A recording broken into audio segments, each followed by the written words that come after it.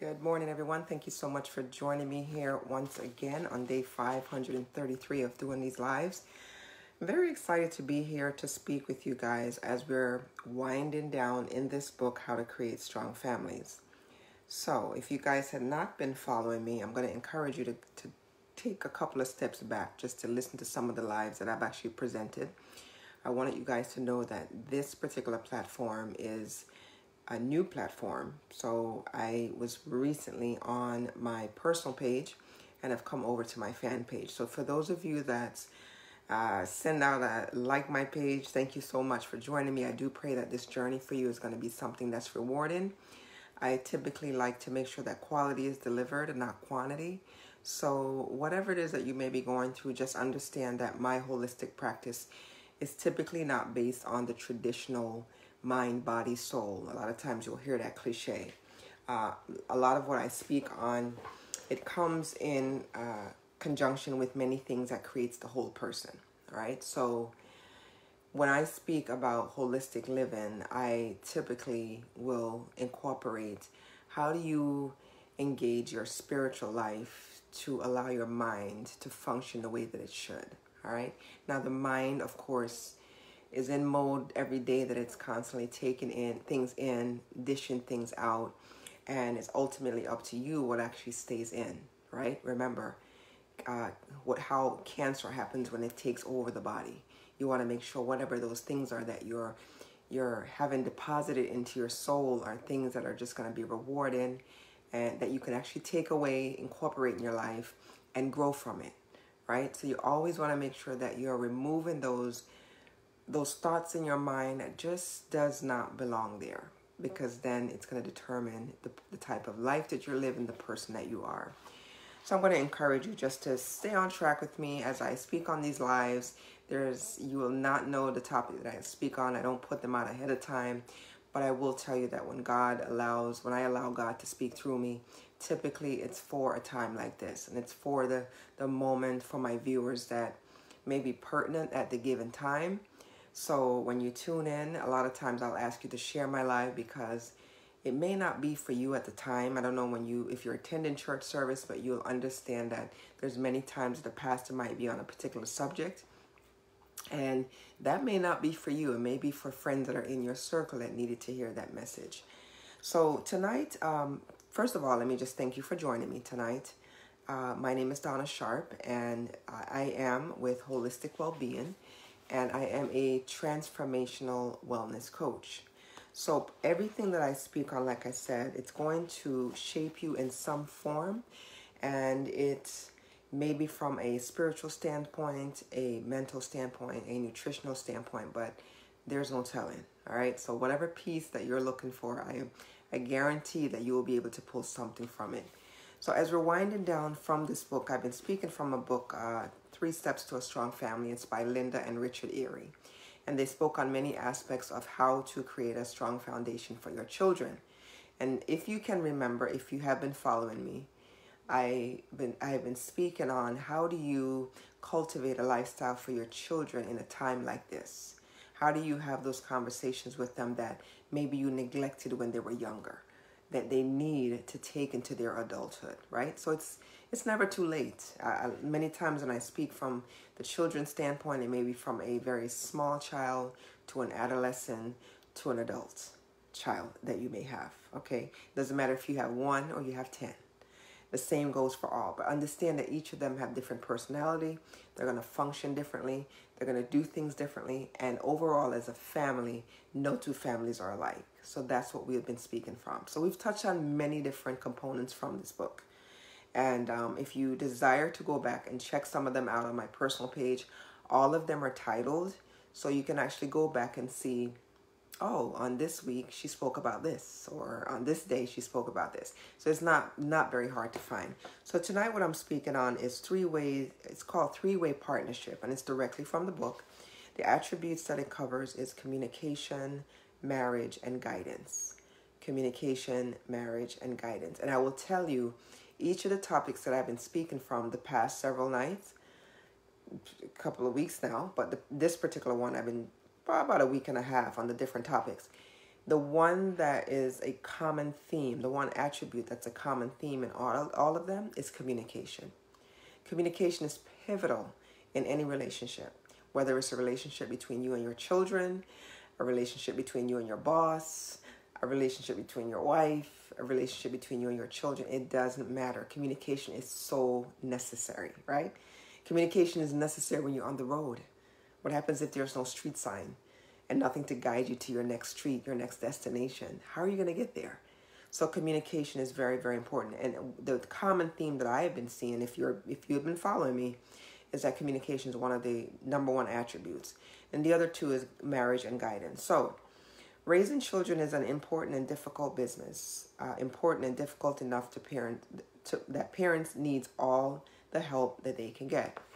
We actually did several lives on talking about you know how to cultivate that relationship and it was all apart from this book and prior lives that i've spoken so it's not an easy feat. I, I know i mentioned to you guys that you people often come out wondering how do i get a book on this? This it's got to be an easier way right? So there is no book there's no perfect way to do it but if you allow faith and guidance to, to take you through you'll notice that you'll typically do all the right things that you're supposed to do and just a tad bit of common sense, right? So, to those of you who believe in God or a higher power, it is logical to believe that this power also deems the welfare of children to be important, important enough to give insight and guidance to parents who ask for it. So remember, whatever you ask the Lord for, He's going to grant it to you. And if you feel that you don't have that, what we call in Jamaica, sustenance, right, to take you through and teach this child all the proper etiquettes, the proper values, then you can always ask God to guide you down this path. And you'll find out that typically He'll be right on time to teach you exactly what it is that you may feel that you're missing in a particular stage of you and your child's life, right? So, children are complex and have needs beyond the comprehension of even the most observant and analytical parent. Those who believe in God, it is interesting that so many who do call Him Father generally believe that He knows our children better than we do. If God knows every single hair on our head, don't you think that He's going to understand how to guide us to teach our children the basic necessities of life, the basic values of life, right? So never doubt Him because He's going to steer you correctly. It is extremely helpful to think of child rearing as partnership and enterprise and partnership between earthly and heavenly parents, wherein the former, can seek, receive help from the latter. So we're going to put in our piece as it pertains to being parents. But of course, God knows best because guess what? He knew about our children and He knew about us way before the time even took place, way before conception, right? So it's nice to be able to lean on Him so that He can guide us through. So we like we like most parents pray for or about our children. In our case, we try to pray together at night before going to bed.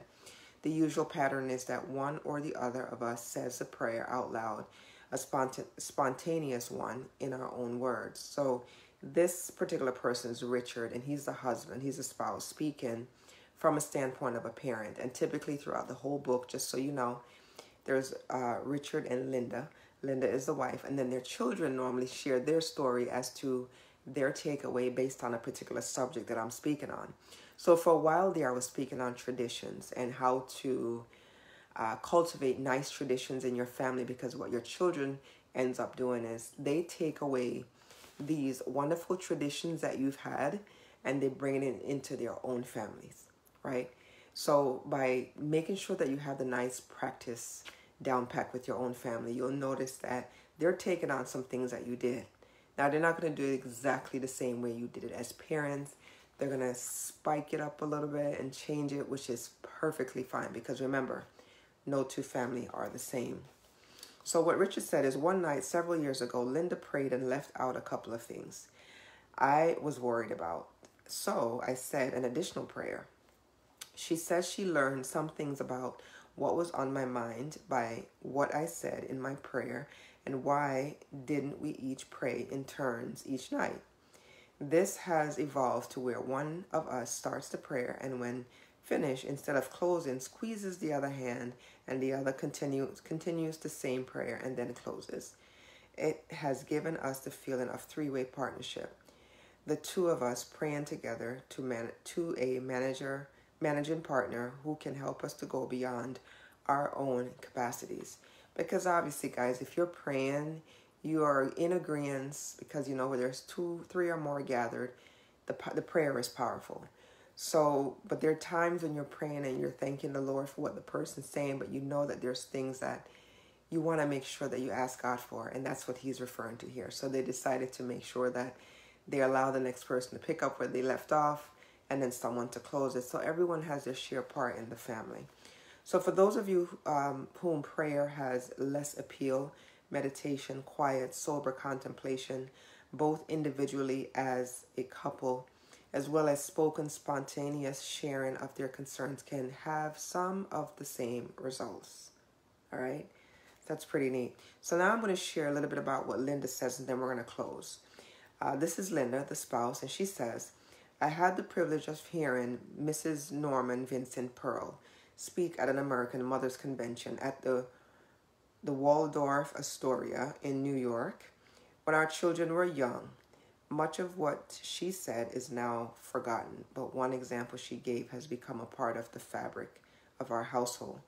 She said that when her children were small, she and her husband when he was there, had a brief meeting with them just before they left for school. They read a short passage of inspiration together, sometimes just one verse from the Bible. Next, they talked together about their challenges for, for the day.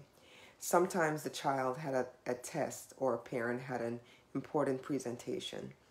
A family prayer ended this 10 minutes meeting that specifically asked for help for each person with a special need. So as you can see, it's not just the parents that are getting blessed here, but the children who has something that may be current and in the near future. So she said that sometimes they even synchronize your watches so that at the time a future uh, at the time a child was due to give a talk in a class or take a test, they could each say a prayer for each other at the very moment. After picking this up and doing it, our family, even our children who are living overseas or at college knows they are getting a little extra help from home as they mention in their letters specific dates and times of events important in their lives. There is not a better way to bring family unity and help help kids feel they are involved with and in tune with helping each other. So, you know you've guys have, guys have heard this before. The family that prays together, prays together, stays together. It's kind of like when I did the live on families that dine together, having a meal together. So many times that's often ignored, neglected, and we don't realize the big impact that it has. So the power of prayer is extremely strong. So get in the habit of getting out, reaching out to your children, drawing them in, because I will tell you that there is no time than the present that's going to be so pivotal right now. So pull them in, get them in the habit of creating customs in your family. And remember, what you're doing is basically uh, leaving a representation for them, a mark on their lives, because you're not going to be here for long. And they're going to pull that legacy and take it along. So remember, the title of this section was Three Way Partnership. Three Way Partnership. And in this case, they spoke about the prayer and the unity that they had as a family and the ability to be able to communicate work together, and draw it and bridge the gap all together, right? Also covers the attributes of communication, marriage, and guidance. So try this, see what helps. Uh, I wanted to make sure I share that with you tonight. And again, like I said, we're quickly winding down to the end. Um, it's been a great journey going through this book. Uh, they had some great topics in there that I felt that was influential and is able to add some great nuggets to your pocket. So remember, feel free to always take notes and uh, write, you know, your point of views down, how this matches exactly what you're going through, because again, everyone's different, right? So I wanted to share that with you. If this was of value to you, I'm going to ask that you share it with your loved ones and friends in your close circle. If you also love the live, I'm going to ask you to stick your finger on that thumbs up button, slide up, and you'll see the love button. I don't care for the, the thumb. I think thumb is so dry. A lot of times we don't know how to communicate with each other properly, right? So I'm going to ask you to give me a love button. Um, but aside from that, if you'd like to learn more about myself, I am a holistic and wellness life coach. Love teaching individuals how to cultivate a better nutritional balance, a better physical balance, and most of all, just teaching you some of the basics of how to use your mind. So many people have their minds and they're not using nowhere near the full capacity of their brain. All right. So if you'd like to learn more about me, log on to wholelisticwellbeing.com. That's spelled with a W, W H O L E L I S T I C, wellbeing.com. And there you can find out why I'm so passionate about what I do. Click on that About section. It'll give you a brief biography on myself, and you'll get to learn a little bit more about me. All right. Until tomorrow, thank you so much for joining me, and thank you for all your support. I am so appreciative. And I'll be back again here tomorrow to speak with you from the same book on another great topic. So have a fantastic rest of your evening and take care. Ciao.